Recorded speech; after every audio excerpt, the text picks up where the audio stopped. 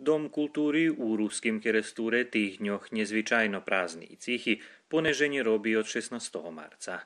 Medzi tým, že by mladí tanečníky nezabuli toto, co poteraz naučili, ostarali še Sašo Paljenkaš i Mirko Pregun, ktorí zňali proby zo kameru.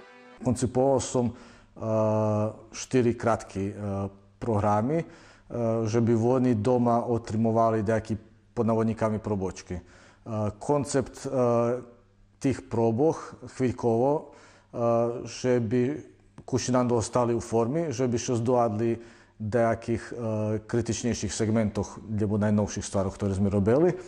Keď to bude uspešné, ne znam, uvidíme. Materijal še teraz montira, položi še na YouTube na privatnu opciju, to ti linky še poposilajú rodičom. Všetko зависи u stvari od toho, že ak my porichtáme za tot kratki čas, ta nazdávám sa, že Zresztą jak popatrzeć, nie tracić stąd kontakt, nam to i ważne.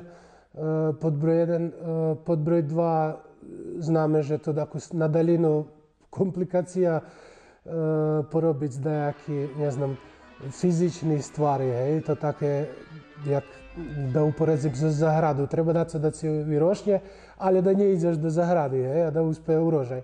Hoč obstaviny za taký proby neideálny, Sašo i Mirko dali šicko od sebe, a dokše video znímky zakonča, šor, že by dali šicko od sebe, budze na mladých tanečníkoch i ich rodičoch.